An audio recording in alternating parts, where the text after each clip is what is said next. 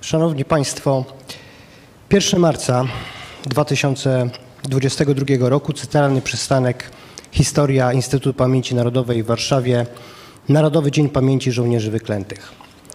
Kiedy kilka tygodni temu rozpoczynaliśmy prace organizacyjne do tej debaty, hmm, chyba niewiele osób sądziło, że będziemy się znajdować w takiej sytuacji międzynarodowej, jakiej się obecnie znajdujemy. Mając w pamięci to, co się dzieje na Ukrainie, Polska dziś czci pamięć swoich bohaterów, którzy postanowili walczyć z sowieckim okupantem. Kiedy w 1944 roku Armia Czerwona przekroczyła granicę II Rzeczpospolitej, Sowieci zamierzali przede wszystkim pobić hitlerowskie Niemcy. Jedna zbrodnicza ideologia zamierza, zamierzała zniszczyć drugą zbrodniczą ideologię. Niemniej jednak w tamtym czasie czerwonoarmiści realizowali drugi jakże istotny plan Józefa Stalina, mianowicie imperialny plan podboju środkowej, całej środkowej e, Europy. W tym oczywiście również Polski. Żeby to zrobić, Sowieci musieli przede wszystkim zmierzyć się z polskim podziemiem niepodległościowym, które było ich głównym wrogiem i przeciwnikiem i dość mocno utrudniało przejęcie władzy przez komunistów. Najpierw przeciwko polskiej konspiracji Stalin rzucił siły Armii Czerwonej, NKWD i osławionego Smierszu.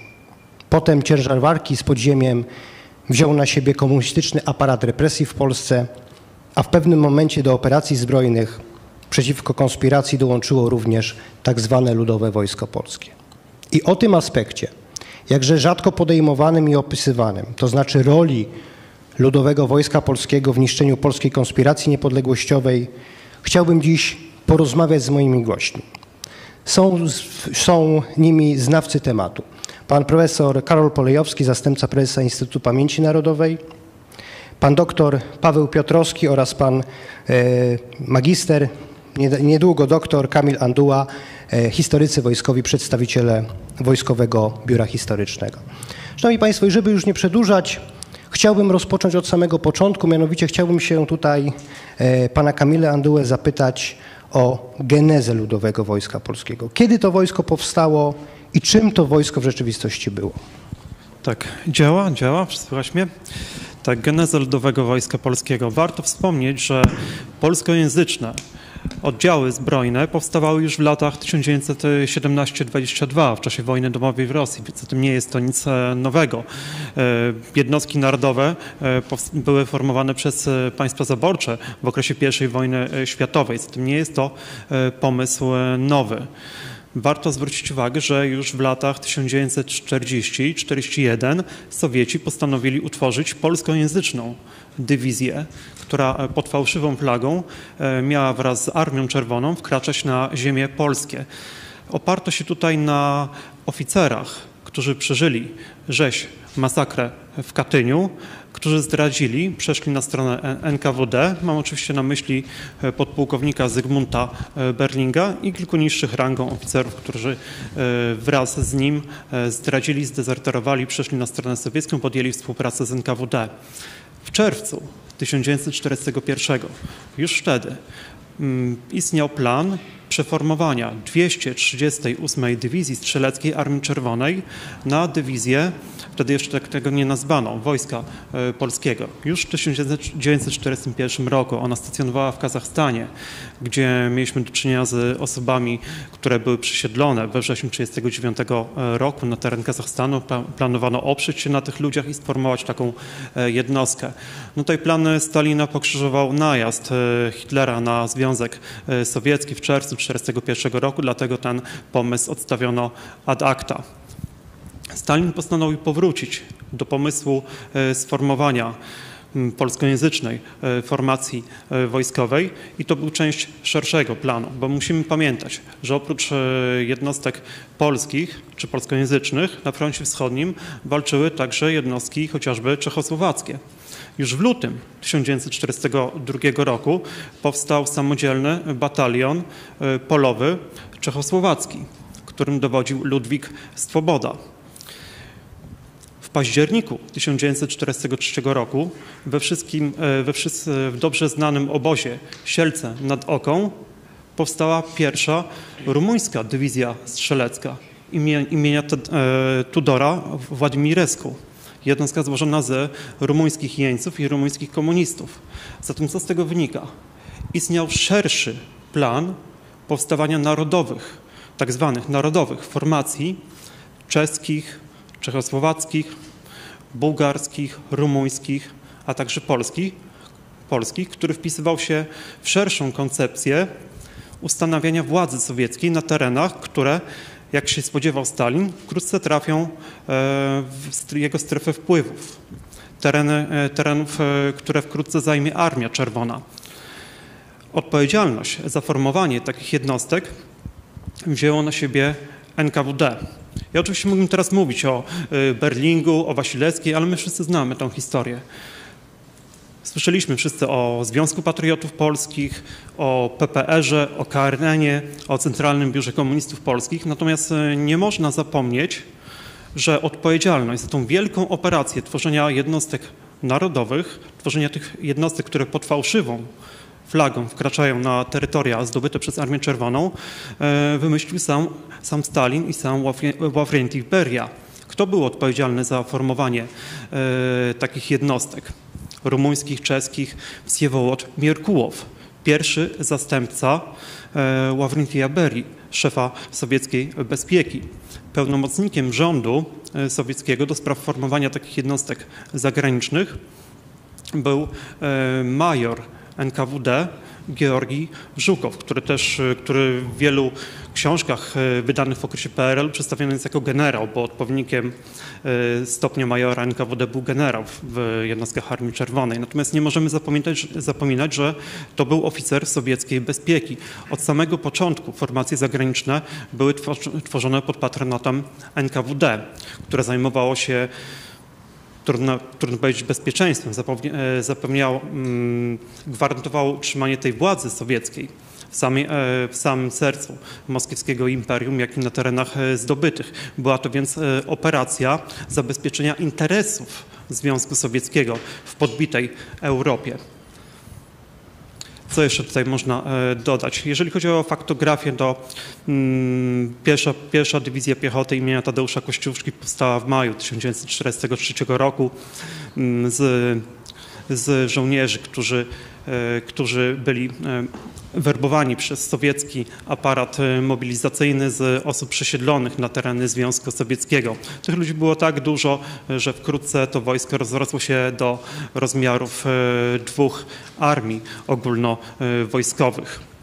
W pełni wojsko było kontrolowane przez, przez polskich komunistów, a także przez aparat bezpieki, o którym wspominałem, a także przez jednostki sowieckiego kontrwywiadu Smiersz. To gwarantowało w pełni lojalność tych e, żołnierzy wobec, e, wobec komunistycznych mocodawców i realizację polityki Stalina w Europie. Tyle chyba o genezie Ludowego Wojska Polskiego. Tak, proszę pamiętać, że w tamtym czasie e, do pierwszej dywizji dołączają tak istotne osoby późniejszym, e, w późniejszej e, Polski, Polski Ludowej, jak generałowie, późniejsi generałowie Florian Siwicki czy, czy Wojciech Nieruzelski, ale istotne jeszcze wydaje się, że rzeczywiście Ludowe Wojsko Polskie czy pierwsza dywizja odegrała niezwykle istotną rolę przecież w formowaniu również aparatu bezpieczeństwa. Proszę pamiętać, że słynna, słynnu 200 kujbyszewiaków, którzy zasilili później resort bezpieczeństwa, było wytypowanych właśnie właśnie z, z mm, pierwszej dywizji mm, imienia Tadeusza e, Kościuszki. E, panie doktorze, zwracam się do pana doktora mm, Piotrowskiego. Chciałbym, żeby pan wytłumaczył, skąd nazwa Ludowe Wojsko Polskie, bo nie wiem, czy na ile jest to powszechna informacja, że nigdy nie było tak naprawdę, nigdy nie było czegoś takiego, jakiś dekret, rozkaz o tym, że e, to ta formacja polskojęzyczna, jak powiedział pan e, Kamil Anduła, e, ma się nazywać Ludowym Wojskiem, Ludowym Wojskiem Polskim. Więc skąd ta nazwa? No, to nie do końca tak, że nigdy nie było tej nazwy. To oczywiście jest związane z działalnością propagandową aparatu politycznego, kiedy to y, tworzono w y, Sielcach nad Oką pierwszą dywizję, później pierwszy korpus, tak zwany po, polski, później nazywano to Polskie Siły Zbrojne Związku Sowieckim, potem dekret PKWN scalający te polskie siły zbrojne w ZSRR z Armią Ludową w Wojsko Polskie. Miało to na celu pewien kamuflaż i taką propagandową maskirowkę, że to jest wojsko polskie, mundury mają polskie, no może orzełki są trochę inne, ale generalnie mm, mm, i komendy, i regulaminy e, służby są, e, są polskie. E, ale aparat polityczny, czy wówczas jeszcze polity, wychowawczo-polityczny, miał też zadanie, aby podkreślać pewną odmienność tego wojska polskiego od tego, które znali Polacy na, mm, z, z, okresu y, przedwojennego. W związku z tym pojawiło się najpierw określenie odrodzone wojsko polskie, że jest to odrodzone, takie nowe y, wojsko demokratyczne w przeciwieństwie do tej sanacyjnej armii mm, i te określenia y, funkcjonowały gdzieś do końca lat 40., gdzie nieśmiało około 48-49 zaczyna się pojawiać określenie ludowe, a usankcjonowaniem tego y, określenia w nazwie tej siły zbrojnej LWP, y, PRL-u było oczywiście wprowadzenie konstytucji lipcowej w roku 52, która zmieniła nazwę państwa. Bo to też trzeba pamiętać, że oficjalnie do 1952 roku była Rzeczpospolita Polska. Tak się ten twór y, y, quasi y, polski nazywał. W 1952 konstytucja lipcowa zmieniła nazwę na Polską Rzeczpospolitą Ludową. W związku z tym też pojawiła się nazwa Ludowe Wojsko Polskie jako nazwa propagandowa na początku, ale później znalazła sobie rację bytu e, w, także w nomenklaturze wojskowej, między innymi w aktach osobowych e, oficerów e, była e, rubryka e, służba w Ludowym Wojsku Polskim. Więc to Ludowe Wojsko Polskie zyskało sobie taką nazwę nieoficjalną, bo oficjalna nazwa wynikająca właśnie z konstytucji tu przywołanej e, to było Siły Zbrojne Polskiej Rzeczpospolitej Ludowej. Mm, ale dzisiaj wielu apologetów LWP usiłuje zaprzeczyć temu, że to Ludowe Wojsko Polskie, że ta nazwa funkcjonowała, że była to tylko ta nazwa potoczna. Nie, nie była to nazwa potoczna. Była to nazwa, która funkcjonowała i w regulaminach, e, i w e, dokumentach, e, i w publikacjach dotyczących na przykład etyki żołnierza Ludowego Wojska Polskiego. W związku z tym jest to po pierwsze nazwa, która funkcjonowała normalnie. Po drugie, jest to ważne, żeby podkreślać różnicę między tym ludowym wojskiem polskim, a wojskiem polskim, które my znamy.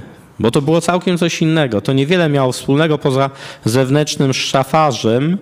Mm, e, tym bardziej, że właśnie w momencie, kiedy pojawiła się ta nazwa Ludowe Wojsko Polskie e, w początku lat 50., to był okres, kiedy nastąpiła bardzo znaczna sowietyzacja, nawet zewnętrzna y, tej armii y, i zmieniono chociażby mundury, żeby zatrzeć y, ślady tradycji polskiej. Częściowo tylko wrócono do tego po roku 56 przy, przy, przy, y, częściowo wrócono do tych tradycji polskich i w ceremoniale, i w y, umundurowaniu, ale na przykład rogatywka była wyklęta aż do roku 82, kiedy to wprowadzono ją do y, kompanii honorowej. Natomiast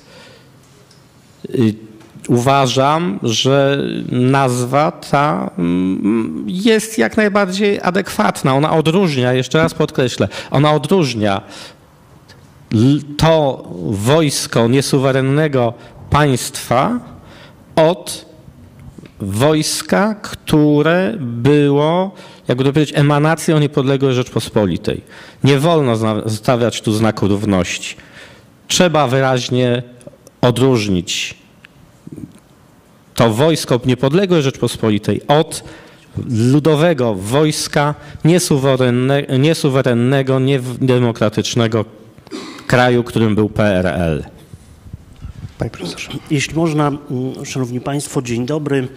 Y, ja bym jeszcze może dodał, że y, trzeba bardzo wyraźnie podkreślić dwie rzeczy, jeśli mówimy o, o, o tak zwanym y, ludowym wojsku polskim. Ta nazwa oznacza też Panie doktorze, zapewne się pan ze mną zgodzi, ale zupełne zerwanie również personalne, jeśli chodzi o obsadę kadrową tego tak zwanego odrodzonego Wojska Polskiego z wojskiem mm, II Rzeczpospolitej, chociaż oczywiście znajdujemy w korpusie oficerskim tego ludowego wojska całkiem sporą grupę e, oficerów przedwrześniowych, jednakże ich rola jest już zupełnie inna niż tą, którą odgrywali jeszcze e, przed wybuchem II wojny światowej.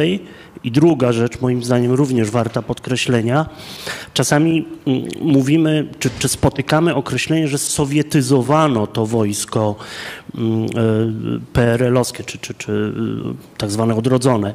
Ja się nie zgadzam z tym twierdzeniem. Znaczy trudno sowietyzować coś, co z gruntu jest sowieckie. E, to jest, to jest taka próba no, narzucenia pewnej narracji, w myśl której w tym tak zwanym Ludowym Wojsku Polskim e, były elementy tej polskiej tradycji. Oczywiście, jak się weźmie na przykład e, e, program szkolenia czy, czy te zajęć dziennych, no to oczywiście po pobudce jest rota. Jeszcze w 45, 6 roku, tak? Ale modlitwy już tam nie ma, nie znalazłem.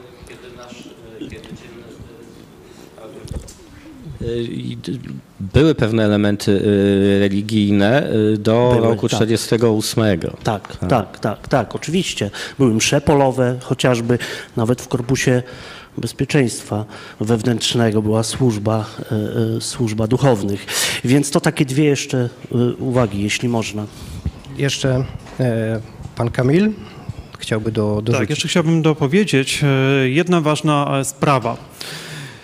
Miałem zaszczyt przeprowadzać e, wywiady z niektórymi żołnierzami, żołnierzami Ludowego Wojska Polskiego, którzy mówili tak, ja służyłem w Wojsku Polskim, biłem się o Berlin, przelewałem krew za Polskę. I tego nie można im odmawiać, ale co jest z tym niesamowite, to jest wielki postulat badawczy. Jak doszło do tego, że ci ludzie tak łatwo tak łatwo zaufali tej stronie sowieckiej, tak łatwo zostali, zostali zmanipulowani, że nawet po latach identyfikują się z tym, co było jedną wielką dezinformacją. Jak skuteczny był ten plan pochwycenia tych ludzi, jak skutecznie Stalin potrafił balansować pomiędzy elementem tego planu komunizmu, a tymi wszystkimi e, rzeczami, o których tu była mowa, e, czyli rota polska komenda. Gdzieś tutaj to było tak idealnie zniuansowane, że nieuzbrojony umysł e, człowieka, który nie miał do czynienia nigdy z organami e, bezpieki, bez żadnego kłopotu nabierał się na to. Był w stanie, e, był w stanie dać się pochłonąć tej, temu mechanizmowi. Ten mechanizm był niesamowicie skuteczny i to jest wielki postulat badawczy, żeby obnażyć go, obnażyć go, zbadać, opisać i zapamiętać na przyszłość. W 1944 roku chyba odbyła się najsłynniejsza msza polowa, z którego nawet jest przecież y, materiał ilustracyjny, gdzie e, na tej mszy polowej, e, w której mszy polowej bierze na przykład udział e, generał Karol Świerczewski. No to, był chyba, to była chyba jedyna msza polowa, w której słynny Walter, no wiemy kim był Karol Świerczewski, tak, że to był rzeczywiście komunista z krwi i kości i na pewno nie był osobą wierzącą, brał udział w tejże, tejże mszy, a na tą mszę, ta msza została zorganizowana z okazji oczywiście rocznicy Bitwy Warszawskiej. I co jeszcze jest zabawniejszego, ja kiedyś w archiwum znalazłem zaproszenie ówczesnego kierownika PKWN Edwarda Osóbki-Morawskiego kierowane do Bułganina, czyli przedstawiciela sowieckiego przy e, PKWN. Zapraszają go właśnie na mszę polową zorganizowaną z okazji zwycięstwa Wojska Polskiego w 20 roku nad bolszewikami. Więc to jest, to jest e, generalnie, e, generalnie no, po prostu propaganda. Rozmawialiśmy o, o Ludowym Wojsku Polskim, natomiast teraz chciałbym pana profesora mm, Polejowskiego poprosić o to, żeby przypomniał genezę żołnierzy wyklętych. Ja wiem, że wielokrotnie już było o tym mowa, ale y, żeby ta waga była równa, ta szala była równa, panie profesorze, proszę, kim byli tak naprawdę żołnierze wyklęci?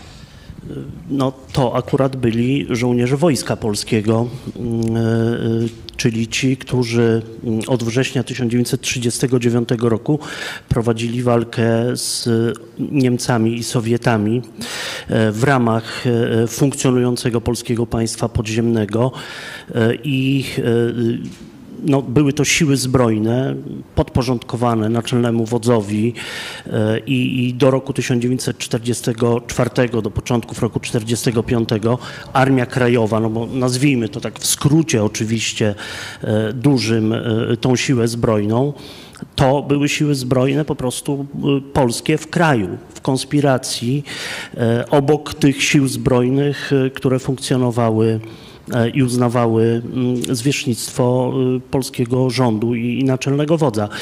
E, I teraz y, mamy do czynienia z następującą sytuacją, kiedy po e, odkryciu grobów katyńskich e, Stalin zrywa stosunki dyplomatyczne z, z, z, rządem polskim w Londynie, no to z automatu niejako y, polskie państwo podziemne ze swoją podziemną armią e, przestaje być de facto sojusznikiem w tym obozie Związku Sowieckiego.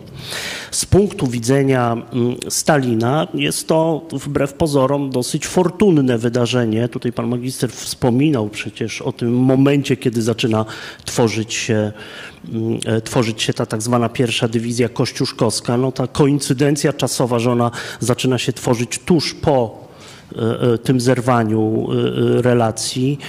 Mm, to już jest po wyprowadzeniu armii polskiej ze Związku Sowieckiego, czyli tzw. Tak armii Andersa, a więc Stalin właściwie uwalnia się tutaj od wszelkich zobowiązań i ta gra, którą zaczyna prowadzić, z jednej strony to jest stworzenie tej polskojęzycznej własnej dywizji, którą zresztą w Londynie określano jednoznacznie jako oddział sowiecki, oddział Armii Czerwonej.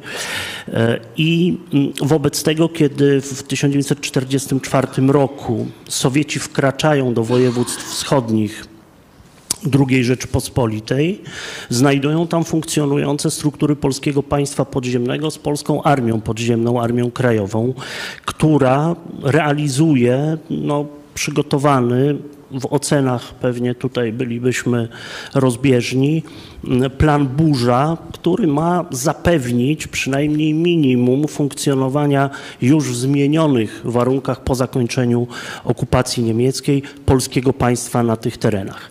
Ale to jest y, o tyle y, ślepa uliczka, że z punktu widzenia Stalina i Sowietów te ziemie są sowieckie. Tutaj nic się nie zmieniło, to znaczy województwa wschodnie należą e, w tej nomenklaturze kremlowskiej do państwa sowieckiego od jesieni 1939 roku, kiedy w wyborach, referendum e, zachodnia Białoruś, zachodnia Ukraina e, zgłosiły akces do Związku Sowieckiego, w dużym telegraficznym skrócie. I teraz ci polscy żołnierze z jednostek Armii Krajowej, bo to, to jest też interesujące, że na Kresach Wschodnich, no, we wschodnich województwach właściwie to Armia Krajowa była decydującym czynnikiem militarnym.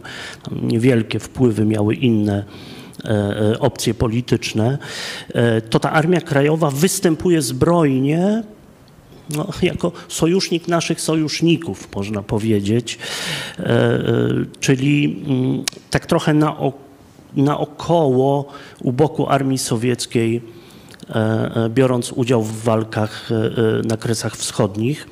Jednakże katastrofa, która następuje natychmiast po zajęciu na przykład Wilna, operacja Ostra Brama, jasno wskazuje, że tutaj żadnej żadnej koabitacji, nazwijmy to tak, między polskim państwem podziemnym, teraz już działającym jawnie, i, polską armią podziemną, a Sowietami po prostu nie będzie. Katastrofa, e, katastrofa partyzantki e, z Kresów Północno-Wschodnich czy 27.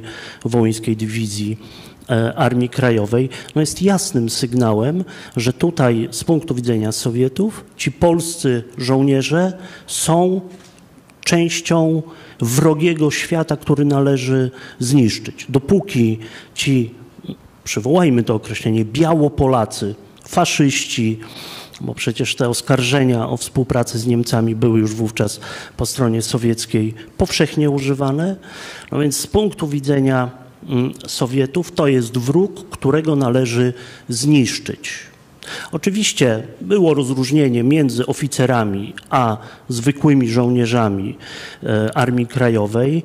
E, tych żołnierzy mm, właściwie wcielano do, czy próbowano z nich zrobić żołnierzy tej armii Berlinga, a później roli Rzymierskiego, e, to y, dużej mierze się nie udawało. Znamy przecież w latach 44-45 dezercję całych oddziałów e, te, z tego ludowego wojska polskiego, gdzie duża część tych e, osób, które porzucały służbę w tym komunistycznym wojsku, e, to byli ludzie związani wcześniej właśnie z polskim państwem podziemną, podziemnym i, i, i z armią krajową, czy szerzej podziemiem zbrojnym antyniemieckim. A więc co, kiedy, kiedy ta wiedza o tym, jak Sowieci reagują, stawała się powszechna, no to trzeba było sobie zadać pytanie, co robić. No, przywołajmy przykład y, y, Uskoka, partyzanta Armii Krajowej, który podjął taką próbę służby w ludowym, tak zwanym ludowym wojsku polskim, ale ten eksperyment szybko się zakończył, ponieważ jako były akowiec, no, bardzo szybko z, z, stał się tutaj przedmiotem zainteresowania e, e, informacji wojskowej. To też jest bardzo ciekawa struktura funkcjonująca w tym tak zwanym ludowym wojsku polskim. Pewnie o tym też e, przyjdzie powiedzieć. I ci chłopcy młodzi po prostu odchodzili, uciekali znowu do lasu. No jak przeczytamy wspomnienia Uskoka, to on bardzo dokładnie opisuje, że Sowieci wkraczali, NKWD wkraczało i miało dokładnie gotowe już listy y, aż do najmniejszej wsi, kogo aresztować, gdzie on mieszka. Y, y, mieli swoją agenturę na tym terenie. Więc tu nie było alternatywy, tu nie było drogi do wyboru. No, albo można było w pełni pójść na tą współpracę, ale to nie gwarantowało bezpieczeństwa, albo pójść znowu do lasu e, i uznać, że przysięga legalnemu rządowi Rzeczypospolitej wprost e, obowiązuje. Do stycznia 1945 roku tego dylematu nie było, ale po rozwiązaniu Armii Krajowej ten dylemat oczywiście się pojawił. E, bardzo dziękuję. Ja zawsze e, odpowiadam osobom, które e, negują sens istnienia polskiego podziemia niepodległościowego, powiedzmy, no, po II wojnie światowej. Proszę pamiętać, że to nie polskie podziemie wypowiedziało wojnę e, Armii Czerwonej i komunistom. Było zupełnie na odwrót. To Armia Czerwona, Sowieci i komuniści, to oni rozpoczęli wojnę z polskim podziemiem, tak jak pan profesor powiedział, jako najważniejszego, chcieli, zniszczyć jako najważniejszego, najważniejszego przeciwnika, e, żeby po prostu opanować kraj i żeby móc mm, e, wprowadzać władzę komunistyczną. Jeśli można, no bo y, z punktu widzenia Sowietów utworzenie komunistycznego państwa polskiego mogło się udać tylko i wyłącznie wtedy, kiedy została zniszczona ta siła żywa, y, która stanowiła ten opór antysowiecki.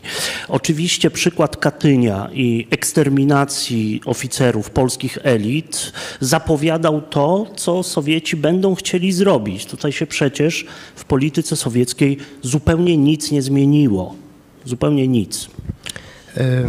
E, Tak jak powiedziałem na samym początku, w 1944 roku Armia Czerwona wchodzi e, na tereny e, Polski. E, Pierwsza Armia Ludowego Wojska Polskiego, tak, czy Armia Berlinga jest tutaj częścią Armii Czerwonej. Ja już nie, nie, będę tutaj wspominał o bitwie pod Leniną, akurat pan Kamil mógłby bardzo dużo o bitwie pod Leniną opowiedzieć, natomiast jest lipiec 1944 roku, wojska podchodzą, sowieckie, Armia Czerwona i Armia Berlinga podchodzą pod, między innymi pod Warszawę. Jaka jest rola, proszę opowiedzieć, jaka jest rola właśnie tejże armii w czasie Powstania Warszawskiego? Tak, jeżeli chodzi o sprawę Powstania Warszawskiego, to, to wiem, Powstanie Warszawskie trwało od 1 sierpnia 1944 roku do 2 e, października. W warunkach frontowych to jest e, długi okres. Teraz toczy się wojna na Ukrainie, e, trwa jej szósty dzień. My widzimy, ile się dzieje. Powstanie warszawskie trwało dwa miesiące, sytuacja militarna była skomplikowana. Jak to, e, jak to wyglądało? Mamy 1 sierpnia 1944 e, roku. Armia Czerwona ponosi e, klęskę pod Warszawą. Druga armia pancerna zostaje rozbita przez czwarty korpus pancerny SS w wielkiej bitwie pancernej na przedpolu Warszawy. To komplikuje sytuację Sowietów, wskutek czego nie są oni w stanie pod tą Warszawę podejść w momencie, gdy trwa powstanie. Udaje się to dopiero e, we wrześniu 1944 roku. To już minął długi okres. W skali wojskowej e, ten czas płynie inaczej. To jest naprawdę długi e, okres. Wcześniej Armia Czerwona próbowała zdobyć warszawską Pragę, podejść, podejść pod tą Warszawę, natomiast nie była w stanie. Obiektywnie nie była w stanie. Dopiero w końcowym etapie powstania warszawskiego jednostki Armii Czerwonej, w tym tak zwanego Ludowego Wojska Polskiego, pierwszej Armii e, Wojska Polskiego e, dochodzą do Wisły i stają naprzeciw krwawiącej e, Warszawie. Natomiast sytuacja w Warszawie wtedy jest ciężka. Powstańcy trzymają się w kilku miejscach blisko Wisły. Istnieje jeszcze możliwość pomocy powstaniu, ale jest to możliwość iluzoryczna. Warszawa to to wielki węzeł komunikacyjny, wielkie ponadmilionowe miasto. Zdobycie tak dużego miasta byłoby możliwe tylko w przypadku zaangażowania wielkich sił ze strony Armii Czerwonej poprzez manewr oskrzydlający od północy, od południa, Trochę tak jak teraz, e, jaką mamy sytuację w Kijowie. Mm, toczy się, e, toczy się wojna, wszyscy przechodzimy przyspieszony kurs wiedzy wojskowej i zdajemy sobie sprawę, że zdobycie tak wielkiego ośrodka miejskiego nie jest sprawą łatwą. Jedyną osobą, która nie do końca rozumiała tą taktykę, tą, e, tą sztukę operacyjną był sam Zygmunt Berling. Wykorzystał, tą, e, wykorzystał to Stalin w sposób brutalny. W początkowym okresie e, od wybuchu Powstania Warszawskiego Stalin liczył, że to powstanie szybko upadnie i będzie miał problem, powiem kolokwialnie, z głowy. Natomiast powstanie trwa alianci, Brytyjczycy, Amerykanie wywierają nacisk na Stalina. To krzyżuje jego e, plany. Generalnie jeden z historyków kiedyś uznał e, powstanie warszawskie jako, jako pierwszą bitwę e, zimnej wojny. To jest bardzo ciekawa, ciekawa perspektywa. I to powstanie jest bardzo niewygodne dla Stalina. Chciałby, chciałby, żeby się skończyło, żeby Niemcy zrobili porządek w Warszawie, żeby wymordowali tych tych oficerów Armii Krajowej, którzy potem mogą stanowić dla Stalina problem, a to powstanie trwa. Stalin więc uznał, że pozwoli Berlingowi przeprowadzić operację pomocy tym powstańcom, tylko po to, żeby to powstanie e, wydłużyć, żeby ci powstańcy dalej tam krwawili e, i żeby, e, i rękoma, i żeby rękoma Niemiec, Niemców to powstanie zakończyć. Berling nie zdawał sobie sprawy, zdawał sobie albo nie zdawał, nie, nie miał może tej wiedzy wojskowej, że cała operacja udzielenia pomocy powstańcom warszawskim z góry była skazana na niepowodzenie, gdyż pierwsza armia, którą dowodził, nie miała takiego potencjału. Od samego początku nie mieli wystarczającej ilości e, jedności sprzętu przeprawowego, nie mieli dostatecznych środków łączności, e, nie było w ogóle planu szczegółowego planu e, pomocy tej krwawiącej Warszawie. Taka operacja wymagała wielotygodniowego planowania, więc to, co wykonał Berling E, po, e, po 22 września, czyli ta próba udzielenia pomocy powstańcom to była jedna wielka improwizacja, która skończyła się klęską jeszcze większą niż pod Lenino. pod Lenino pierwsza dywizja piechoty nie była w stanie przekroczyć małej rzeki Miereja, a co dopiero Wielka e, Wisła. Jednostki, które przeprawiły, przeprawiły się na stronę e, powstańców, były pozbawione ciężkiego uzbrojenia i w sposób błyskawiczny, tak jak się dzieje to teraz na Ukrainie, zostały, zostały rozstrzelane przez e, oddziały niemieckie. Zadano im gigantyczne straty, w efekcie których powstanie jedynie przedłużyło się o kilka kolejnych dni i zakończyło się i tak klęską. Mm, bardzo dziękuję. Jesteśmy w roku 1944, 1945. Panie profesorze, czy wówczas Ludowe Wojsko Polskie jest wykorzystywane do zwalczania podziemia, czy to jeszcze nie jest ten etap? Y, przede wszystkim y, Ludowe Wojsko Polskie, nazwijmy je tak, chociaż pamiętamy, że to ludowe jest y, w cudzysłowiu, to nie jest przecież formacja powołana do zwalczania podziemia niepodległościowego sensu stricto. Znaczy, toczy się wojna, te oddziały tego wojska odrodzonego, może takie nazwijmy, bo to ta, ta nazwa wówczas była w obiegu, to odrodzone wojsko polskie było częścią frontów sowieckich. Pierwsza armia nacierała Polsce Północnej, później e, e, brała udział w walkach o Berlin. Druga armia e, na Łużyce kierowała się, a więc to było główne zadanie tych sił zbrojnych. Oczywiście one były w porównaniu z siłami sowieckimi no po prostu mikroskopijne. Natomiast tutaj z powodów czysto, jakbyśmy powiedzieli, propagandowych wykorzystywano te jednostki wojska. Ale trzeba powiedzieć o jednej bardzo istotnej rzeczy, to znaczy o wcielaniu Polaków, młodych chłopców e, do mm, tego odrodzonego Wojska Polskiego. Tutaj y, PKWN, y, y, czyli ten lubelski komitet, tak go nazwijmy, e, zarządza ten pobór, no ale my wiemy, że już na terenie tych byłych województw wschodnich II Rzeczypospolitej ci e, byli akowcy, którzy zostają e, wygarnięci, nazwijmy to tak eufemistycznie, z lasów, dostają się do niewoli sowieckiej, e, no, są kierowani, są wcielani do tego e, do tego wojska. Tutaj jest kilka takich punktów, punktów, gdzie tworzy się te oddziały wojskowe. Jeden chyba z takich najbardziej znanych to Sumy na, na Zadnieprzu.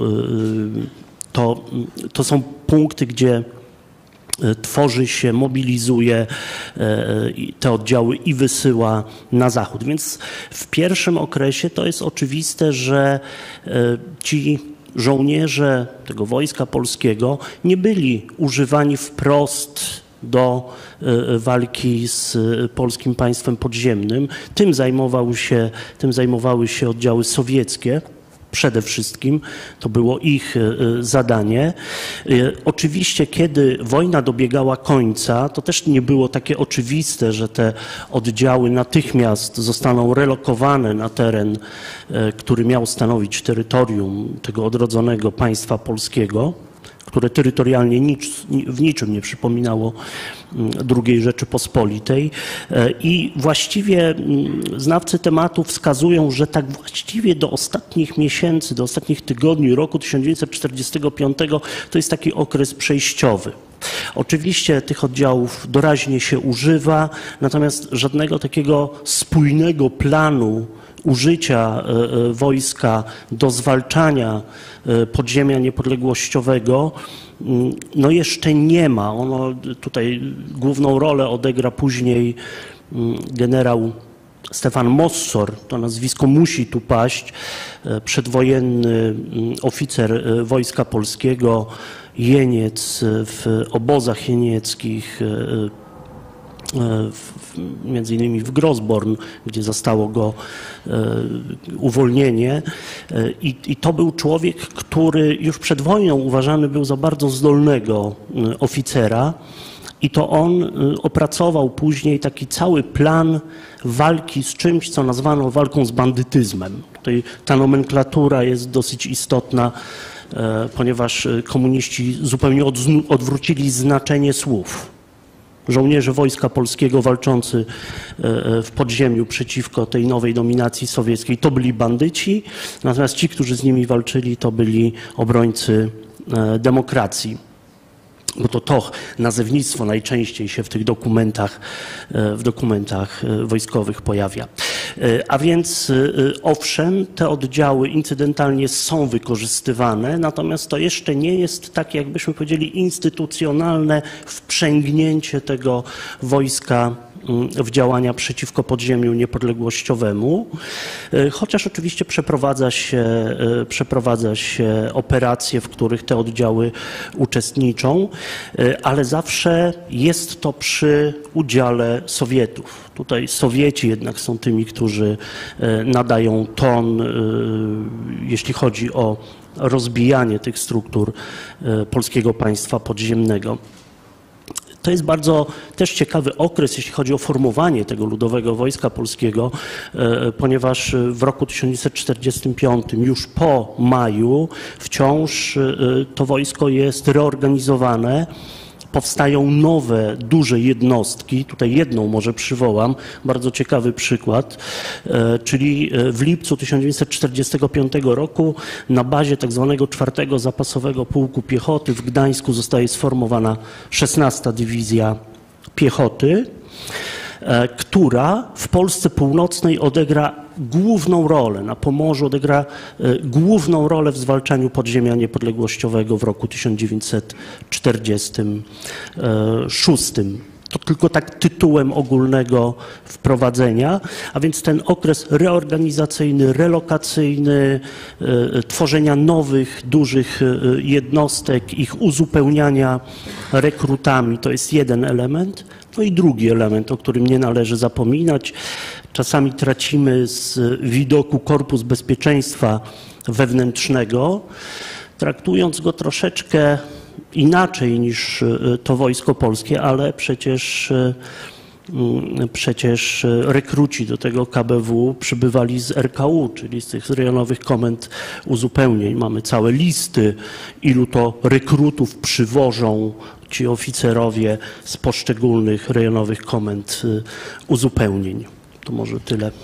Tak, bo przecież y, należy pamiętać, że rzeczywiście e, KBW, e, pomimo tego, że podlegało pod Ministerstwo Bezpieczeństwa Publicznego, to jednak bazę do KBW tworzył Polski Samodzielny Batalion Specjalny, prawda, który był, e, który był jednak no, częścią powiedzmy tego ludowego czy odrodzonego Wojska Polskiego. Pan znaczy, doktor ja, Piotrowski. Właśnie, bo kwestia KBW też jest, jest o tyle interesująca, że mm, e, Pierwotnie tworzono e, od jesieni 1944 formację, która miała się nazywać Wojska Wewnętrzne. I tworzono tę e, formację jako część mi wówczas jeszcze resortu bezpieczeństwa publicznego. Wykorzystano wiedzę, doświadczenie sowieckie z formacji NKWD, bo NKWD miało w swoim składzie także jednostki wojskowe, dywizje zaporowe, dywizje mm, ochrony tyłów, y, pułki ochrony pogranicza, które aktywnie brały udział. O tym mm, jeszcze pewnie będziemy mówić w zwalczaniu mm, podziemia. I wzorem dla tych wojsk zewnętrznych tak były właśnie te formacje zbrojne NKWD. Kiedy pojawił się problem y, w 1945 roku, y, że zbyt wolno się je formuje, zbyt, wolno się je tworzy, wówczas postanowiono y, zmienić nazwę na Korpus Bezpieczeństwa Wewnętrznego w czerwcu 1945 roku, podporządkować go na czas formowania Ministerstwa Obrony Narodowej i skierować do tegoż no, nowo tworzonego korpusu żołnierzy LWP i między innymi dowódcą korpusu został generał Bolesław Kieniewicz, y, dotychczasowy dowódca czwartej Dywizji Piechoty, y, sformowanej właśnie w Sumach w 1944 roku, która walczyła i pod Warszawą, i na Wale Pomorskim, w Kołobrzegu. I ta, ta, ta dywizja, czwarta dywizja piechoty w całości weszła w skład KBW. Przeformowano pułki piechoty na pułki KBW i bardzo szybko stworzono formację liczącą 16 pułków, czyli pułk na, każdy, y, na każde województwo. W województwach wschodnich wkrótce rozbudowano tę formację do y, spółków sformowano brygady, łącznie w, cztery, w, drugiej połowie 1946 osiągnięto stan ponad 30 tysięcy żołnierzy służących w KBW. I to KBW w, 40, w drugiej połowie 1946, jakby to powiedzieć, przejęła główną rolę walki z zbrojnym podziemiem i prowadziła tę walkę, no można powiedzieć, aż do lat 60., bo kto brał udział w obławie na ostatniego partyzanta? Y, właśnie żołnierze KBW z pułku, y, z pułku stacjonującego w Lublinie. Więc te fazy y, walki ze zbrojnym podziemiem realizowane przez wojsko są, można powiedzieć, trzy. Pierwsza faza tuż powojenna, kiedy już wojsko wraca y, z frontu i jest zaangażowane do działań. I tu chodzi między innymi o pierwszą dywizję piechoty, która została skierowana prosto spod Berlina na początku czerwca 1945 y, na Podlasie i odegrała ogromną rolę w zwalczaniu podziemia niepodległościowego i na Podlasiu, i na północno-wschodnim Mazowszu ta pierwsza kościuszkowska, do niedawna jeszcze taka, taki symbol, e, Trzecia dywizja piechoty skierowana na Lubelszczyznę i ona też walczy e, z mm, e, oddziałami mm, podziemia niepodległościowego mm, intensywnie. Dziewiąta dywizja skierowana na teren Rzeszowszczyzny. 46, początek 46 roku, kiedy wojsko przejmuje, e, jakby to powiedzieć, pałeczkę i, i, i to dowódcy wojskowi koordynują wszyscy, działania wszystkich komórek aparatu i bezpieczeństwa i, i sił zbrojnych w zwalczaniu podziemia. I 47 rok i później, gdzie tę rolę przejmuje właśnie Korpus Bezpieczeństwa Wewnętrznego. To, y, to jest bardzo y, ważne. To, to polskie NKWD, można tak w skrócie o KBW mówić. Ja tylko jeszcze y, dosłownie jedno zdanie dodam do tych dywizji, które pan doktor wymienił. E, chyba trzeba dorzucić jeszcze 18 dywizję, e, ponieważ to jej pododdziały również z tymi pododdziałami kościuszkowców brały udział bardzo aktywny w zwalczaniu podziemia niepodległościowego w pierwszych tygodniach 1946 roku. To jest taka duża akcja, e, która w lutym, w lutym, e, e, która to akcja niestety z punktu widzenia komunistów nie przyniosła pożądanych rezultatów. To znaczy skala zaangażowanych sił, tutaj właściwie wykorzystywano doświadczenia frontowe, mm, no nie przyniosła tego, co miała. To znaczy nie zdruzgotano sił podziemia niepodległościowego na obszarze Polski północno-wschodniej i wschodniej e, a to była zima, to był luty. To, to teraz, prawda, jak przyjdzie wiosna, Mosor mówi wprost, no, przyjdzie wiosna, podziemie się odbuduje, no to tutaj trzeba podjąć już systematyczne działania. Jeszcze? Jeszcze tak. E, ja dopowiem, nie możemy zapomnieć o pierwszej brygadzie pancernej imienia bohaterów Westerplatte, no czterej pancerni którzy nie skończyli jednak tej wojny ani e, na Pomorzu Gdańskim, ani tym bardziej w Berlinie, do którego wcale nie doszli, oni tę wojnę e, kończyli pod Siedlcami, gdzie brali czynny udział w likwidacji jednostek e, podziemia niepodległościowego. I to jest to ten pierwszy etap, o którym mówił pan doktor Piotrowski, kiedy do walki przeciwko podziemiu rzucano regularne jednostki Wojska Polskiego, które do tej pory były szkolone do walki z Niemcami na froncie wschodnim. I co się stało? Oni sobie kompletnie z tym podziemiem nie radzili. Tak jak teraz e, nie radzi sobie armia e, rosyjska z tymi lekkimi jednostkami Wojsk Obrony Terytorialnej czy Gwardii Narodowej Armii Ukraińskiej te jednostki Ludowego Wojska Polskiego, które wróciły prosto spod Berlina, były rzucane do tych lasów, oni wykonywali ataki artyleryjskie, starali się tych partyzantów ostrzeliwać. Używano czołgów do patrolowania lasów. To było kompletnie nieskuteczne. W czołgu nie można zobaczyć partyzanta, e, poprzez nalot ogniowy nie można zniszczyć jednostki partyzanckiej, a te oddziały mm, połakowskie wykorzystywały to bezwzględnie. Atakowano te, te jednostki e, ze skrzydła, wprowadzano w zasadzki, zadawano ogromne straty. Z tego powodu, no, to jest jeden z powodów, dla których powstał Korpus, e, Korpus Bezpieczeństwa Wewnętrznego jako jednostka wyspecjalizowana. Tak jak wspomniał pan profesor, żołnierze to był ten sam, jak to nazwali komuniści, materiał ludzki, który posłużył do sformowania tych regularnych jednostek, które walczyły na froncie, ale ten materiał ludzki od początku był kształtowany w inny sposób.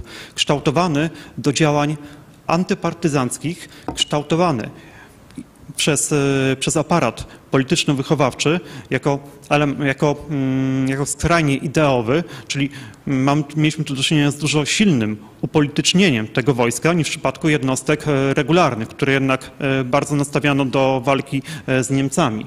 To było zupełnie inne szkolenie polityczne, mimo że to byli ci sami ludzie. Ci sami ludzie, którzy służyli w drugiej Armii Wojska Polskiego, pod, mogli równie dobrze trafić do Korpusu Bezpieczeństwa Wewnętrznego. I to jest, teraz wrócę do tego, co mówiłem, ten aparat polityczny, jego zdolności są wręcz niesamowite. Wręcz niesamowite, jak, jak ta władza komunistyczna była w stanie opętać te umysły tych młodych ludzi.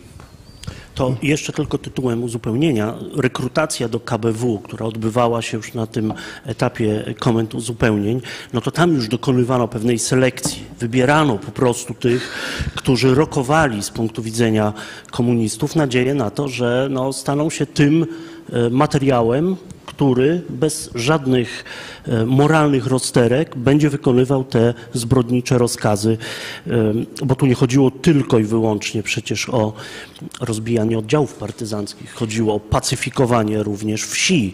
E, tutaj w jednym z raportów jasno jest napisane, że to wieś, chłopi są głównym oparciem dla oddziałów partyzanckich i to też wchodziło w zakres działań korpusu, ale też i Ludowego Wojska Polskiego. O tym y, y, nie należy zapominać. A jaki to był materiał ludzki w KBW, to jeszcze pewnie przyjdzie nam powiedzieć. Tak. Y, za chwilę, za chwilę y, Pawle, oddam Ci głos, natomiast y, jeden komentarz do tego, co mm, Kamil Anduła powiedział. Rzeczywiście w historii wojen nieraz bywało, że kompletnie, jakby to powiedzieć, nieadekwatne jednostki próbowały zwalczyć, prawda, rzucano nieodpowiednie siły na, na, na, na, na właśnie na partyzantkę i tak dalej. Doktor Piotrowski chciał, chciał zabrać głos i za chwilę panu doktorowi ten głos, głos udzielę, bo chciałbym go zapytać, y, skoro już przeszliśmy do tego okresu, gdzie Ludowe Wojsko Polskie, odrodzone Wojsko Polskie, komunistyczne Wojsko Polskie e, walczy z podziemiem, jaka była rola i działalność w tamtym czasie niejakiego Wojciecha Jurzelskiego?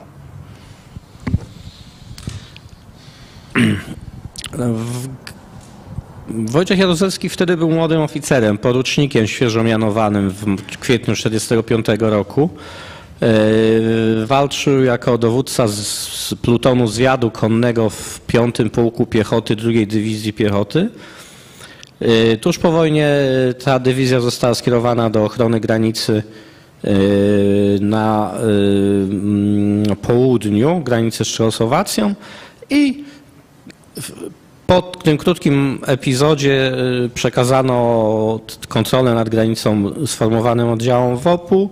Następnie trafił ze swoim pułkiem na chwilę do Częstochowy i stamtąd jesienią 1945 roku y, został skierowany wraz z piątym pułkiem do Chrubieszowa, do y, gorącego wówczas miejsca, ponieważ rozgorzała wtedy y, związana z akcją y, przymusowej, mm, przymusowego przesiedlenia ludności ukraińskiej z terenów wschodnich. Y, rozgorzała walka, wojna partyzancka toczona głównie przez ukraińską powstańczą armię, ale nie tylko, bo tam aktywnie w tym rejonie działały także oddziały polskiego podziemia niepodległościowego, między innymi NSZ-u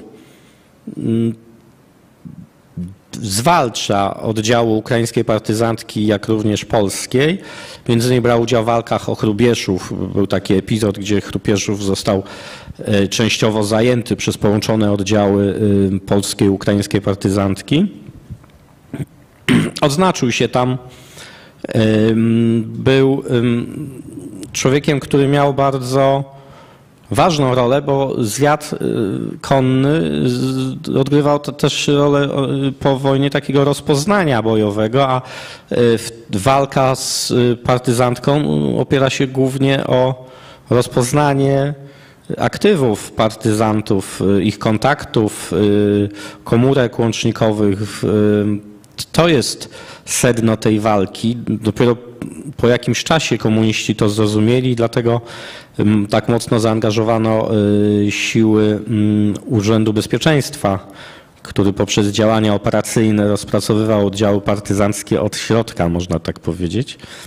Mm, Po, tym, y, po tej pierwszej fazie, o której mówił y, kolega Anduła, gdzie to wojsko rzucano, stosując taktykę realizowaną w walkach y, y, z regularnym wojskiem. Y, Zwiat, którym kierował Jaruzelski, miał bardzo duże, y, tak jak powiedziałem, znaczenie. On się odznaczył tam. Y, W związku z tym, kiedy został skierowany na początku, piąty pułk y, piechoty na początku roku 1936 został skierowany do Piotrkowa Trybunalskiego, ponieważ y, z kolei właśnie w Łódzkiem sytuacja stała się bardzo skomplikowana dla komunistów. Mm, y, Tam działały y, prężnie oddziały mm, Polskiego Podziemia Niepodległościowego, w związku z tym trzeba było tam skierować ym, dodatkowe oddziały wojska. Mając te doświadczenie wyniesione z walk na wschodzie, w rejonie Hrubieszowa, y, no, był komendantem też wojskowym y, miasta Piotrków Trybunalski. Y, Odznaczył się na tyle, że y, został odznaczony Krzyżem Grunwaldu. Co ciekawe, to y, za co został odznaczony tym Krzyżem Grunwaldu, y, można znaleźć jedynie w aktach y, partyjnych, y, ponieważ y, w aktach osobowych nie ma informacji, za co go odznaczono. Akta osobowe zostały e, spreparowane e, gdzieś około roku 90 i niektóre dokumenty, które e, mogłyby kompromitować Wojciecha Rudolskiego, po prostu z tych akt zniknęły. Miała e, aktywny udział w zwalczaniu podziemia, brał tam mm, na tyle, mm, znaczy na, na tyle aktywny był ten jego udział, że skierowano go w nagrodę do y, Centrum Szkolenia Piechoty. Zorientowano się, że jest dobrze zapowiadającym się oficerem, mimo pochodzenia, bo e, pochodzenie to było bardzo duże obciążenie dla niego w tym okresie. Aż do połowy lat 50. można powiedzieć, cały czas ta sprawa była, y, była w przypadku Jaruzelskiego cierniem. Ratowało go też y, to, oprócz tej jego mm, takiej zawziętości i wykazywania inicjatywy w walce z, z, z, z ym, y, wojskiem mm, polskim y, podziemnym, y, Także to, że nawiązał jakby to powiedzieć, stał się informatorem informacji wojskowej, więc informacja wojskowa mu wystawiała te op dobre opinie, ale na przykład y, starał się, y, w- żeby go skierowano na szkołę akademicką, na Akademię Wojskową Związku Sowieckim i ten jego wniosek został odrzucony trzykrotnie. Mm, Właśnie z tego powodu, że, y, że, że y, jak, y, z powodu jego pochodzenia, ale legitymacja, jakby to powiedzieć, przekonanie o tym, że mimo, że jest y, człowiekiem pochodzącym z klas y, wrogich nowemu systemowi, bo tak to było klasyfikowane wów- wówczas, że, były, e, że była grupa oficerów przyjaznych nowemu ustrojowi, czyli ci wywodzący- się z tych dołów, drobno, drobni rolnicy, robotnicy, można powiedzieć, obcy, czyli ci pośrodku i wrog, wrodzy, czyli właśnie byłe klasy, burżuazja, ziemiaństwo. No on się zakwalifikował do tej klasy e, wrogiej, ale jego zaangażowanie w zwalczaniu podziemia spowodowało, że w tym wojsku został i pozwolono mu robić w tym wojsku karierę. Był takim janczarem, jak ktoś o nim napisał.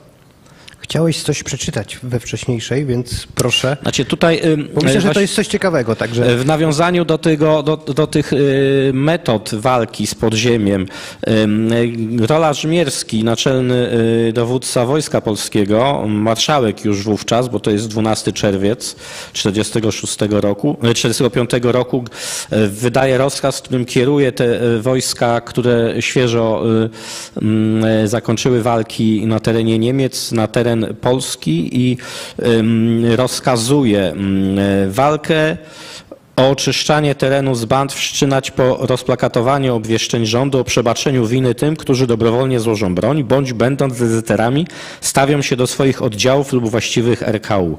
W toku akcji przeciwko bandom do niewoli nie brać przywódców i oficerów dowództwa dywersyjnego, dywersantów stawiających opór z bronią w ręku. Czyli już na początku, w czerwcu 1945 te wytyczne do mm, walki z podziemiem y, były bardzo ym, e, radykalne, ale przebiło to jeszcze y, po pierwszych doświadczeniach takich y, zbyt, znaczy można powiedzieć nieudanych, e, y, meto, jak, jak, najbardziej, jakie najbardziej skuteczne metody to jest dokument y, y, Taktyka walk z bandami z y, stycznia 1936 roku.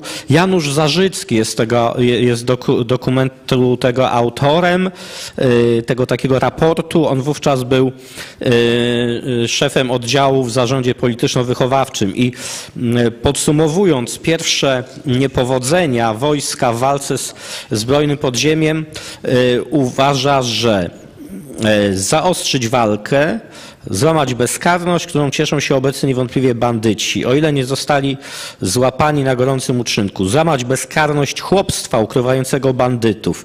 I tu pisze tak. e, Za akty zbrodnicze reagować, na akty zbrodnicze reagować natychmiast. Przesiedlenie mieszkańców wsi na terenie zachodnie. Nie całością wsi, ale w rozproszeniu. Natychmiastowe na miejscu rozstrzeliwanie schwytanych z bronią w ręku i właścicieli domów, w których broń została znaleziona. W skrajnych wypadkach przy napotkaniu na zbrojny opór wsi spalenie wsi. I to oficer odrodzonego Wojska Polskiego. On na koniec, bo to jest bardzo ważne, pisze, że to są metody y, bardzo drastyczne, ale jeżeli chodzi o ich skuteczność, to należy przypomnieć, że te tereny wchodziły w 1940 roku w skład ZSRR. Była w nich prowadzona akta, akcja kolektywizacji, zbieranie kontyngentów dla władzy radzieckiej i Czerwonej Armii, a jednak panował tam bezwzględny porządek i spokój. To jest styczeń roku 1946. Oficer pionu politycznego, tak zwanego odrodzonego Wojska Polskiego, chce palić polskie wsie, jak y, nazistowscy, hitlerowscy, niemieccy okupanci i podaje przykłady, że jak była tam Armia Czerwona, to był porządek. Jakby daje do zrozumienia, że oni stosowali takie drastyczne metody i dlatego udało mi się zachować porządek. To nie była walka y, polsko-polska, to nie była wojna domowa, bo niektórzy próbują dzisiaj y, zrównać jednych i drugich, że racje są po obu stronach. Nie. To była po prostu walka Polaków z sowiecką okupacją. Jakby to nie zabrzmiało, jest to prawda. No to jeszcze dodajmy, że do zadań tego mm, wojska należało też e, e, no, ochranianie tych, którzy pobierali podatki oraz egzekwowanie tak zwanych świadczeń rzeczowych, obowiązkowych, e, które e, były zmorą wsi e, polskiej po zakończeniu wojny. Więc to wojsko oczywiście z jednej strony ono otrzymywało od Zarzyckiego, tutaj to właściwie to był taki punkt wyjścia do utworzenia później tego komitetu czy, czy Komisji Bezpieczeństwa. E, Natomiast to wojsko już w 1945 roku spełnia rolę takiego policjanta, który ma doprowadzić do tego, aby chłopi odstawiali rzeczowe świadczenia, aby płacili podatki, aby utrzymywali tych nowych e, okupantów. Było po prostu elementem represji państwa komunistycznego, państwa wobec e, polskiego społeczeństwa. Pan doktor Piotrowski powiedział o Wojciechu Jaruzelskim. Inna e, istotna postać w późniejszym okresie Polski Ludowej, Florian Siwicki, zwalczał, proszę państwa, e, będąc, będąc wykładowcą jednej ze szkół wojskowych w Krakowie, zwalczał oddziały Józefa Kurasia ognia na, na Podhalu. Mamy tu dwóch młodych, mamy tu dwóch, że tak powiem, młodych żołnierzy, ale już pan profesor Polejowski o tym również wspominał, w Ludowym Wojsku Polskim odnajdują się przynajmniej w latach 45, 48, 49, niektórzy przedwojenni oficerowie no, Wojska Polskiego, tej Wojska Polskiego II Rzeczypospolitej. Panie profesorze, y, proszę o nich opowiedzieć. No to jest, wydaje się, zagadnienie na zupełnie odrębne spotkanie. Oczywiście. E, Proszę Państwa, o jednym, no może dwóch, e, o dwóch opowiem pokrótce. Podobne losy, podobny moment, kiedy przychodzą na świat, bo to jest połowa lat 90. XIX wieku. Mm, Jeden już dzisiaj wspominany e, Stefan Mossor i drugi e, dowódca wspomnianej przeze mnie 16 Dywizji Piechoty Stanisław Grodzki. Obydwaj rodzą się w połowie lat 90. XIX wieku e, w różnych zaborach, jeden w rosyjskim, drugi w austriackim e, i mm, przechodzą taką normalną drogę, e, jak to e, Polacy e, wówczas przechodzili, a więc przechodzą służbę wojskową, biorą udział w I wojnie mm, światowej. Grodzki E, e, Grodzki jest e, oficerem armii rosyjskiej. Mosor udziela się w, w zaborze austriackim, jest również żołnierzem legionów. A więc kiedy powstaje Wojsko Polskie w 1918 roku jeden i drugi ma za sobą również epizod w armii generała Hallera e, e, we Francji i oni zaczynają służbę w Armii II e, Rzeczypospolitej. Mosor uznawany jest za jednego z bardziej inteligentnych oficerów, awansuje, jest wykładowcą w szkole wojskowej w Warszawie, jest też wysłany jako zdolny oficer do Paryża, do École de Guerre, którą ma e, ukończyć, E, a z kolei Grodzki w tym czasie robi karierę również jako oficer odrodzonego Wojska Polskiego w II Rzeczypospolitej, będąc oficerem drugiego oddziału. I mm, obaj biorą udział w kampanii roku 1939. E, I tu ich losy się niejako rozdzielają. Mosor trafia do niewoli niemieckiej, do Prenzlau, e, do, do Oflagów, Prenzlau pod Berlinem, potem do Neubrandenburga e, i, i, i kończy w Grosborn. I co jest interesujące, on jest w delegacji wysłanej do Katynia w 1943 roku, sporządza z tego raport. Proszę Państwa, jego zachowanie w niewoli oczywiście jest kontrowersyjne. Tu polecam e, szerzej omówienie tego zagadnienia w pracy pana Jarosława Pałki, o, który napisał bardzo dobrą biografię generała Mossora. Ale w lutym 1945 roku Mossor zostaje przyjęty do tego odrodzonego wojska polskiego, do sztabu y, głównego i tam y, rozpoczyna swoją karierę. I to jest obok Zarzyckiego, panie doktorze, zgodzi się chyba pan ze mną, obok Zarzyckiego Mossor jest spiritus movens wszystkich działań wojska tego ludowego przeciwko zbrojnemu podziemiu w roku 1946. Jego dalsze losy oczywiście są znane. On zostanie aresztowany e, na początku lat 50. w procesie oficerów. e, Umrze e, w roku 1957 i zostanie pochowany na Powązkach gdzie spoczywa do dzisiaj. Grodzki z kolei, Stanisław Grodzki e, unika niewoli, i zostaje mm, oficerem Armii Krajowej, e, zostaje szefem e, obszaru Zachód AK, czyli Poznań, Pomorze e, i jako akowiec ujawnia się i wstępuje również do odrodzonego Wojska Polskiego i w roku 1946 obejmuje 16. Dywizję Piechoty w Gdańsku po odwołaniu sowieckiego oficera Jana Bołbata, pułkownika gwardii, jak się go, on się tam podpisuje, pułkownik mm, gwardii. Igrocki jest byłym oficerem Armii Krajowej, który wydaje rozkazy, a jest ich całe mnóstwo, zwalczania partyzantki akowskiej, y, y, Brygady Wileńskiej y, Łupaszki, czyli bardzo ciekawy przykład byłego akowca, który całym sercem mm, przechodzi na stronę komunistów i nie ma żadnych skrupułów, aby te rozkazy podpisywać, co więcej, aby egzekwować ich wykonywanie on nie, nie odnosi sukcesu. Latem 1946 roku jednostki 16 e, Dywizji Piechoty ponoszą e, porażkę, jeśli chodzi o obławy na partyzantów na Pomorzu Gdańskim. E, w lipcu zostaje odwołany, przeniesiony na stanowisko dowódcy 5 Dywizji Piechoty. No i zapada na chorobę, ma operację jesienią 1946 roku i umiera i zostaje pochowany na Powązkach.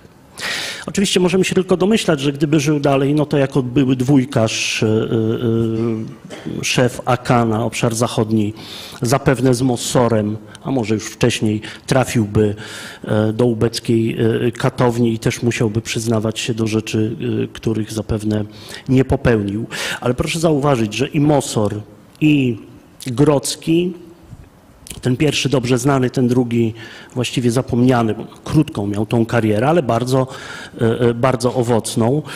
Ja później do niego wrócę jeszcze i do 12 e, Dywizji Piechoty, bo to jest bardzo interesująca jednostka, która mm, w całości odpowiadała za walkę z tak zwanym bandytyzmem tutaj w Polsce Północnej od Bydgoszczy aż do Bałtyku.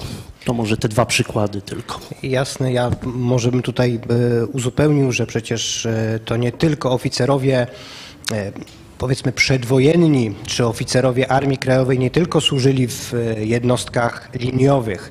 Proszę Państwa, rotmistrza Witolda Pileckiego oskarżał major Czesław Łapiński, człowiek, który był żołnierzem Armii Krajowej. Owszem, on był oskarżony o współpracę bodajże z Niemcami w okresie II wojny światowej, ale jednak był żołnierzem AK a naczelnym prokuratorem wojskowym został, e, został weteran e, kampanii polskiej 1939 roku, czyli późniejszy generał Stanisław Zarako, Zarakowski, właściwie, właściwie Stanisław Zarakowski. Więc e, ci ludzie byli później wykorzystywani przez władze komunistyczne. Oczywiście oni musieli być całkowicie posłuszni, ulegli i tutaj nie mogli w żaden sposób się sprzeciwić władzy komunistycznej i byli lokowani w różnych, w różnych jednostkach, w różnych że tak powiem, e, instytucjach wojskowych. E, chciałbym Kamila Andułę zapytać, jest 46 rok, jest to niepowodzenie, tak jak już opowiadałeś, i powstaje Państwowa Komisja Bezpieczeństwa. Co to był za twór i do czego ta, ta Państwowa Komisja miała, miała służyć komunistom? Tak, jak wspominałem, to jednostki kierowane z frontu, one zupełnie nie radziły sobie z walką w tych kompletnie nowych warunkach. E, rzucano jednostki e, frontowe, które rozbijały siecie łączności, próbowały komunikować się z, z bezpieką, ale te przekazywanie informacji to nigdy nie działało e, poprawnie. Przypadku walki z podziemiem, z jednostkami partyzanckimi nie chodzi o ilość żołnierzy, uzbrojenia, dział, chodzi o informacje. Oddział zwalczający podziemie musi mieć przewagę informacyjną. E, jednostki frontowe e, ewidentnie nie potrafiły takiej przewagi informacyjnej e, uzyskać. Sposobem na rozwiązanie tego problemu była regionalizacja, stworzenie Państwowej Komisji Bezpieczeństwa w marcu, w marcu 1946 roku, takiego tworu, który opierał się na wojewódzkich komisjach E, bezpieczeństwa, które z kolei były złożone z różnego rodzaju struktur zwalczających to podziemie. Wspomniane już tu wielokrotnie e, Wojsko Polskie, KBW, Milicja Obywatelska, e, Ochotnicze Rezerwy Milicji Obywatelskiej, a także inne struktury, które miały wspólny cel zwalczanie podziemia, zyskiwały ciało, które koordynowało te działania, zapewniało łączność, dokumentację planowo, e, planowo realizowało e, te zadania niszczenia tych e, jednostek. Wcześniej tego elementu nie było. To był ten element, ten element który nie pojawiał się, bądź który szwankował, co decydowało o sukcesach podziemia w walce z, w walce z UB, w walce z Wojskiem Polskim. Dopiero wprowadzenie tej regionalizacji, podział terytorium kraju na 14 regionów, na te wojewódzkie komisje bezpieczeństwa, które oczywiście odpowiadały strukturze administracyjnej, ułatwił gromadzenie informacji, e, tworzenie tych e, siatek informatorów, rozpracowanie podziemia oraz jego e, skuteczną likwidację w sztabach tych e, wojewódzkich, e, wojewódzkich e, Komisji Bez- Bezpieczeństwa gromadzono, gromadzono dane, dysponowano łącznością z poszczególnymi, z poszczególnymi jednostkami, które akurat były pod ręką, które były w stałej gotowości. Dzięki temu, dzięki temu te władze perlowskie zna, znacz, znacząco szybciej dokonywały ataków, uderzeń i znacząco skuteczniej pozwoliło to rozprawić się e, z tym podziemiem, które w początkowym okresie e, tego e, konfliktu radziło sobie zupełnie dobrze z jednostkami, z jednostkami frontowymi. Dziękuję bardzo. Panie profesorze, prosiłbym jeszcze o krótkie tutaj przedstawienie, jak wyglądał udział Ludowego Wojska w okresie referendum 46 roku i wyborów 47 roku. Przede wszystkim należy bardzo wyraźnie podkreślić, że był decydujący. To znaczy e, powołanie Państwowej Komisji Bezpieczeństwa i jej odpowiedników na poziomie województw było wy- wynikiem takiego prost, takiej prostej konstatacji, że bez udziału wojska e, nie da się po prostu e, tego podziemia zwalczyć. E, Powołane do tego struktury takie jak KBW czy Urzędy Bezpieczeństwa, mające również swoje siły operacyjne, podobnie jak zresztą jak komendy wojewódzkie i powiatowe milicji, no nie były w stanie sobie z tym poradzić, ale nadchodziło referendum. E, Jestem głęboko przekonany, że powołanie komisji było związane z tym elementem, to znaczy trzeba było wziąć w karby cały ten system walk z podziemiem niepodległościowym, nie zostawiać tego przypadkowi, wypracować pewien system, który od centrali aż do poziomu powiatów i gmin i, i gromad e, funkcjonował. I to miało zapewnić poparcie mm, z jednej strony ludności dla e, tego, co proponowali komuniści w referendum, które było preludium do wyborów, to oczywiste, e, oraz z drugiej strony miało zabezpieczyć ten teren, wyczyścić go, jeśli chodzi o funkcjonowanie podziemia niepodległościowego. I teraz z punktu widzenia tej struktury wojsko odgrywało tutaj pierwszoplanową rolę. E, to jest, proszę Państwa, mapa na kalce technicznej zachowana w Centralnym Archiwum Wojskowym, która jest dołączona do rozkazu o powołaniu Wojewódzkiego Komitetu Bezpieczeństwa w Gdańsku z podziałem na obszary, które są oddane pod e, kontrolę poszczególnych jednostek e, e, Ludowego Wojska Polskiego. I to ono jest tutaj w 100% odpowiedzialne za bezpieczny przebieg i jednego, i drugiego wydarzenia. Za to odpowiadają dowódcy pułków czy jednostek, które zostają oddelegowane na poszczególne obszary E, i mm, oni odpowiadają personalnie za to, żeby to referendum, a potem wybory przebiegły maksymalnie spokojnie. Jedyny pomysł, jaki mają ci dowódcy, to jest po prostu terroryzowanie mm, e, prowincji, wsi. No, taka nachalna indoktrynacja, propaganda, e, spędzanie tych ludzi na jakieś wiece, gdzie mieli aklamacyjnie zgłaszać się do e, głosowania jawnego na określoną e, listę, czy, czy w referendum trzy razy tak. A więc wo, bez wojska, mówiąc wprost, bez jego struktur, bez jego zaplecza komunikacyjnego typu samochody na przykład, środki komunikacji, no to byłoby po prostu nieosiągalne z punktu widzenia e, komunistów. I warto tutaj dodać, że e, jeżeli mówimy, tych map jest dla każdego obszaru, proszę Państwa, w Centralnym Archiwum wszystko się zachowało, e, w Centralnym Archiwum Wojskowym, to warto zaznaczyć, że większość dowódców tych pułków czy, czy tych oddziałów wydzielonych do zabezpieczania referendum i wyborów y, to byli oficerowie pochodzenia sowieckiego. Po prostu Sowieci. Tutaj kilka przykładów. E, proszę Państwa, jeżeli dowódcą 16 Dywizji Piechoty jest Polak Stanisław Grodzki, to już całe jego otoczenie to są Sowieci właściwie, oficerowie sowieccy oddelegowani do Wojska Polskiego, dowódcami pułków, e, batalionów również są, e, są Sowieci, ich nazwiska są po prostu zbierane w takich wykazach, które są przesyłane do Warszawy. Ilu żołnierzy, oficerów sowieckich jest w waszej dywizji? Oni wszyscy są wymienieni z imienia, nazwiska e, i funkcji, którą pełnią oraz stopnia wojskowego. I to są Sowieci. Kilka nazwisk. Jurij Ostroumow, e, Piotr Oposzniański, e, czy mm, dowódca 55 Pułku Petrenko, stacjonującego w Elblągu. Jeżeli mam odpowiedzieć na pytanie, jaką rolę odegrało wojsko, kluczową, ale tą rolę odegrali po prostu sowieccy oficerowie w polskich mundurach. Dziękuję bardzo. Tak, no nie, zapewne nie zdążymy powiedzieć e, o instytucji, e, o której pan profesor wspominał wcześniej, Głównym Zarządzie Informacji Wojska Polskiego, czyli Ministerstwa Obrony Narodowej. Tam proszę pamiętać, że była no, sowietyzowana do szpiku kości instytucja, gdzie Sowieci praktycznie cały czas kierowali tą instytucją, a jeżeli był oficer polskiego pochodzenia typu Jan Rutkowski, on był e, on był tak nieudaczny, że po prostu jego zastępcy, który, którymi byli Sowieci, po prostu kierowali tą instytucją.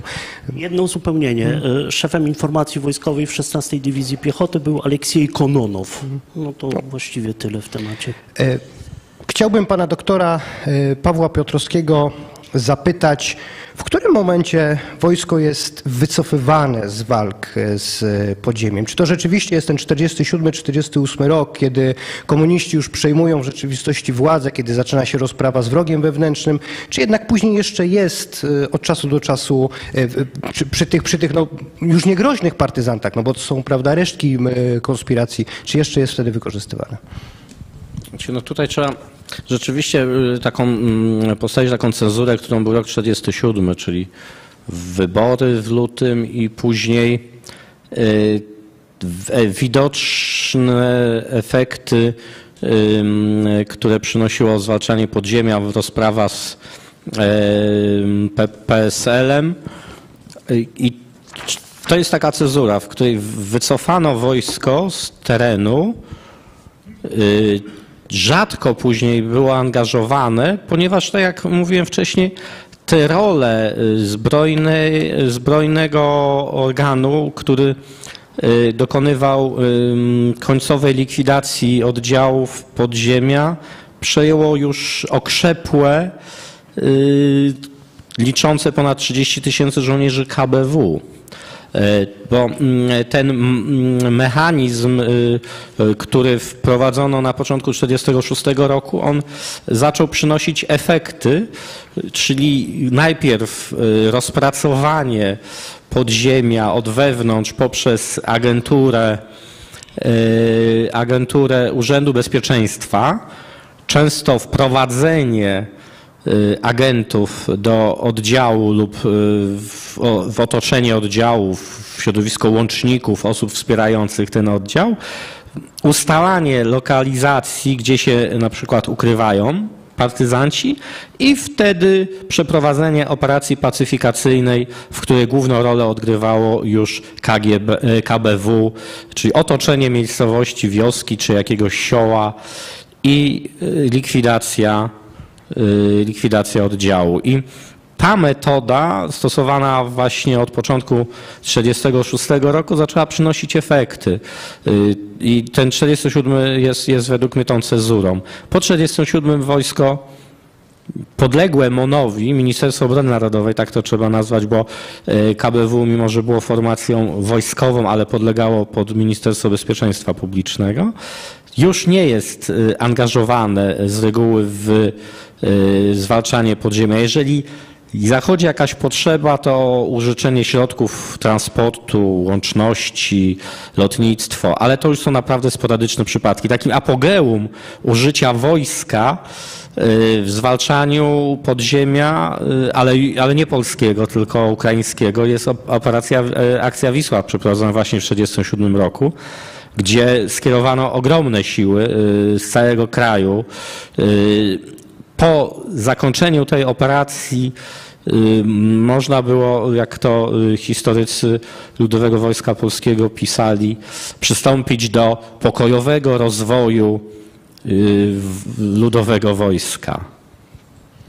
E, I na koniec chciałbym poprosić pana profesora Polojowskiego, żeby w dwóch zdaniach, ja wiem, że to jest niemożliwe, ale może jednak e, określenie roli Ludowego Wojska Polskiego w zwalczaniu e, polskiej e, konspiracji niepodległościowej.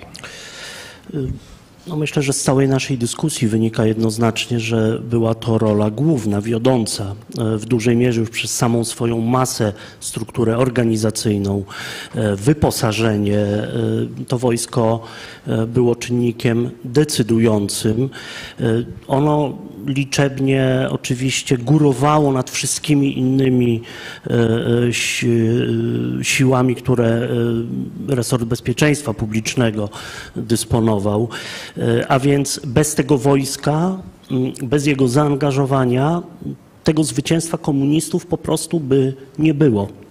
E, I e, wiecie Państwo, wojsko było bardzo skrupulatne w dokumentowaniu tych swoich osiągnięć.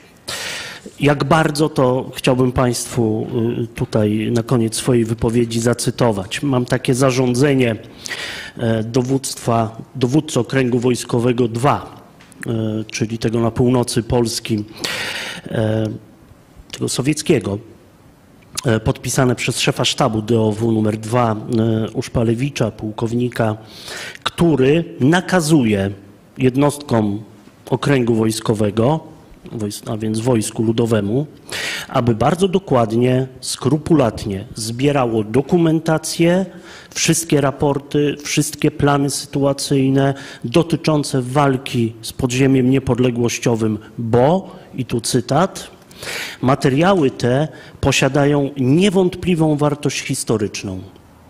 Są niemałym wkładem wojska w odbudowę kraju. Nie mogą zatem ulec zniszczeniu i nie uległy.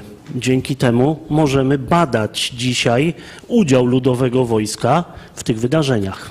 No, tutaj pan prezes nawiązał y, też y, bardzo y, ładnie do tego, że w tej chwili rozpoczynamy realizację dużego projektu naukowo-badawczego realizowanego wspólnymi siłami przez Instytut Pamięci Narodowej oraz przez Wojskowe Biuro Historyczne projektu poświęconego właśnie historii LWP, ale nie tej takiej historii typowo wojskowej, ale, ta, ale historii takiej związanej rola LWP w, w PRL-u i tam dużą część ym, ym, będzie stanowić ten y, okres, o którym tu mówimy, czyli zwalczanie podziemia niepodległościowego przez y, siły zbrojne Polski Ludowej Bazą do tego jest ogromny zasób archiwalny, o którym tu właśnie była mowa. My wytypowaliśmy ponad 400 jednostek archiwalnych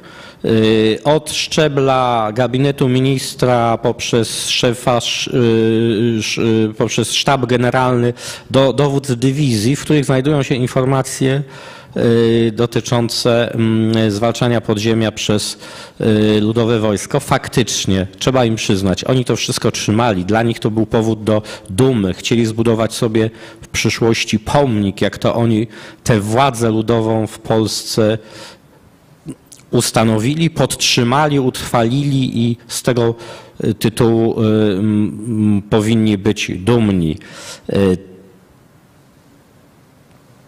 Przykre jest to, że zhańbili przy okazji świętości, bo y, na przykład Order Virtuti Militari, który jest dla nas uważany za ten najwyższy dowód y, szacunku y, dla żołnierza, nadawano także tym bandytom, którzy mordowali polskich partyzantów.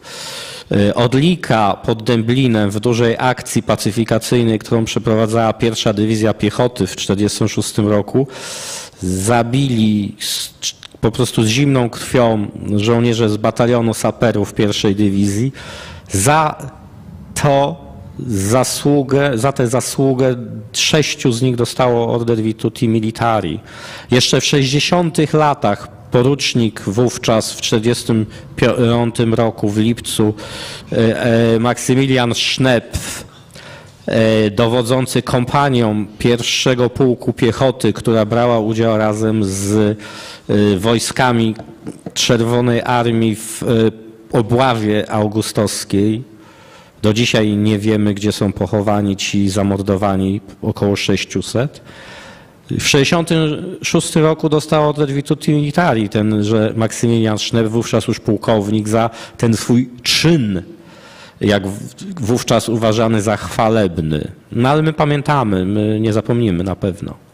Szanowni Państwo, jak widać, temat Ludowego Wojska Polskiego i zwalczania przez tak zwane Ludowe Wojsko Polskie polskich partyzantów polskiego podziemia jest istotny i moglibyśmy tu jeszcze dyskutować o wiele, wiele dłużej. No, tutaj pan doktor Piotrowski poruszył sprawę obławy augustowskiej. Rzeczywiście można by mówić o e, prokuratorach wojskowych, można by mówić o, e, o właśnie Głównym Zarządzie Informacji Wojska Polskiego. No ale myślę, że już niedługo efektem właśnie e, projektu, centralnego projektu bada- badawczego dotyczącego Ludowego Wojska Polskiego Efektem tego będą publikacje, prace, być może konferencje naukowe, które pokażą nam rolę y, i, i prawdę o Ludowym Wojsku Polskim w okresie e, Polski Ludowej.